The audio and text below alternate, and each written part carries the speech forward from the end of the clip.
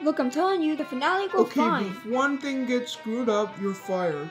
Hello, all viewers, and as you remember, over the last four months, we had challenges, and people were going off one by one, and now we have our final two Wallet versus Road Sign. It's time to release the eliminated contestants. Since I'm too lazy to do an actual challenge, all I want you to do is go to the voting box and vote who you think should win. TV, it's time for you to display the votes.